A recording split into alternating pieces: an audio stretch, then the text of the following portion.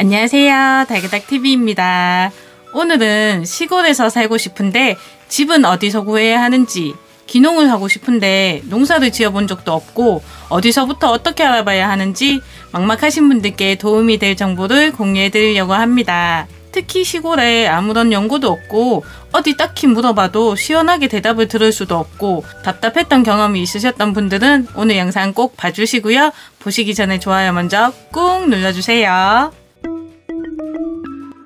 기농을 하실 분들은 기농 결정 후에 최소 몇 년에서 몇십 년 동안 농업을 해야 하는 입장으로서 기농 지역 선정이 가장 중요한데요. 대부분의 기농인들이 기농 이후에 농사의 어려움도 크지만 텃세, 도시 생활과 다른 여러 가지 생활 불편 등으로 인해서 기농을 포기하는 경우도 생각보다 많다고 합니다. 그리고 기농을 꿈꾸는 분들 중에는 농사 일을 생각보다 너무 힘들진 않을까 하는 걱정 때문에 먼저 한번 경험을 해보고 결정했으면 좋겠다 싶은 분들도 많으실 거예요.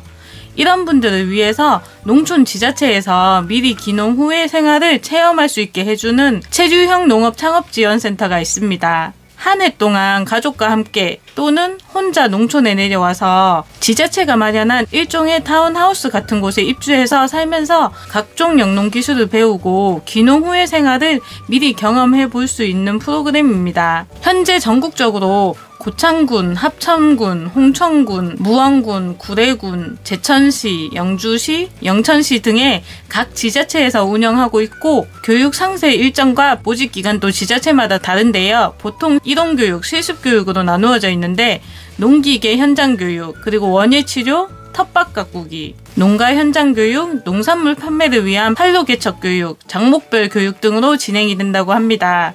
그럼 지금부터 어떤 지자체에서 체류형 농업 창업 지원센터 공고를 모집하고 있는지 한번 살펴볼게요. 현재 청량군 농업창업보육센터에서 입교생을 모집하고 있는데요. 입교 기간은 3월부터 내년 2월까지 12개월입니다.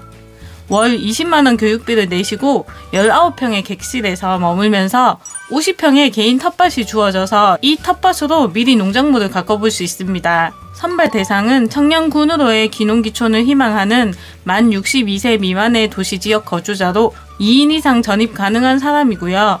현재 농어촌 이외의 도시지역에서 1년 이상 거주하고 있는 사람이어야 합니다. 신청 기간은 2월 1일부터 2월 23일까지이고 청량군청 미래전략과 기농기촌 팀으로 신청하시면 되고요. 혹시 문의사항이 있으시면 여기 있는 전화번호로 전화를 해서 문의를 하시면 됩니다. 지금까지 체류형 농업지원센터에 대해서 알아봤는데요.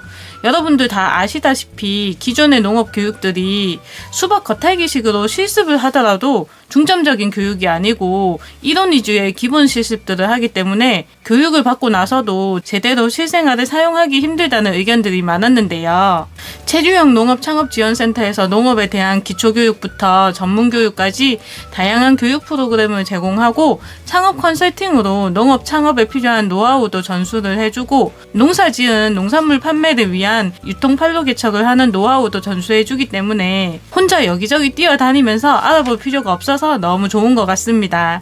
각 지자체별로 지원 내용과 운영 방식이 다르기 때문에 각자 본인의 상황에 맞는 센터를 찾고 선택하는 것이 좋은데요.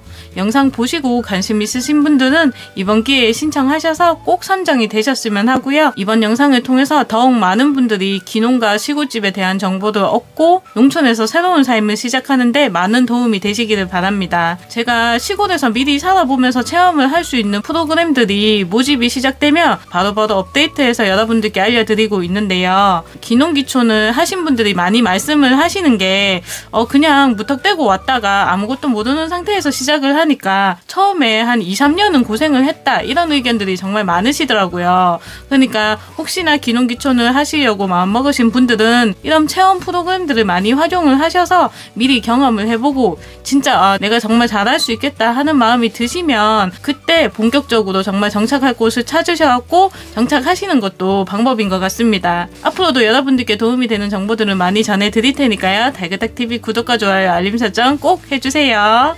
감사합니다.